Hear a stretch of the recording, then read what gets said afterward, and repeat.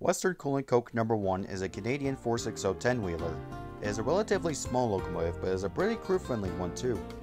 For a locomotive that looks primitive, No. 1's design dates as early as the late 1880s, first created by a Pittsburgh Locomotive Works. By the turn of the 20th century though, larger locomotives were being introduced, causing the 1880s design to become obsolete, and a lot of remaining locomotives of this design fell into the hands of locomotive dealerships in Canada. However, when Canada's third transcontinental network was under construction, a small and slow-paced locomotive was needed to assist with the construction. The Montreal Locomotive Works built 15 locomotives that were similar to the 1880s Pittsburgh design, except their boilers were superheated and their fireboxes were much larger, thus creating a larger boiler pressure and a higher tractive effort. This design became so successful and well liked by crews that throughout the first half of the 1910s, other small Canadian companies were locomotives of the same design in order to save designing and construction costs.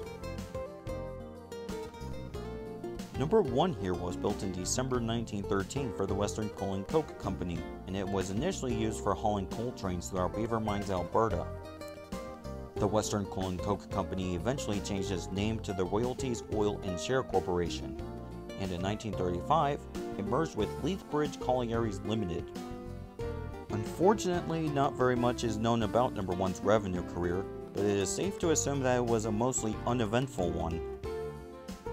Number 1 pulled its last revenue freight train at Miami, Alberta in 1964.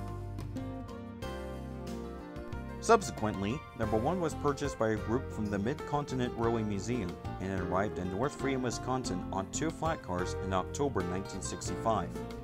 Museum employees restored Number 1 to operating condition by the 1970 operating season, and because crews liked working with the locomotive so much, it became one of the museum's main steam stars on their tourist trackage, which lied between North Freedom and Rattlesnake Station near Larue.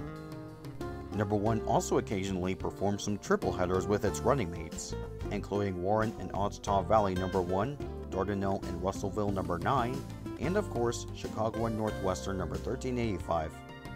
In 1991, Number 1's original wooden cab became completely worn out, and it was subsequently replaced with a brand new one made from scratch. However, the following year, 1992, Number 1 would be formally retired from service after firebox problems sidelined it. Throughout the next three decades, Number 1 has sat in disassembled condition on the Mid-Continent Railway Museum's property. With some help from outside organizations, like the Tennessee Valley Railroad Museum, crews have reworked and replaced various parts of the boiler, including the firebox, the smoke box, the flues, the tubes, the tube sheets, the staybolts, and bits of the boiler barrel. They also refabricated the driving wheels, sandblasted the frame, and remade the cowcatcher from scratch. As of 2022, or at least at the time of making this video anyway, number 1 is still sitting disassembled inside the museum's locomotive shops. Museum crews are hoping to get number 1 up and running again at least one day, but for the time being, the locomotive's rebuild is pretty much on hold, and it will resume after the rebuild on number 1385 is completed. Number 1 still stands as the only Canadian-built steam locomotive in the Mid-Continent Railway Museum's collection, and it is the only Canadian-built steam locomotive that's preserved in the United States, not having served the Canadian Pacific or Canadian National Railways before.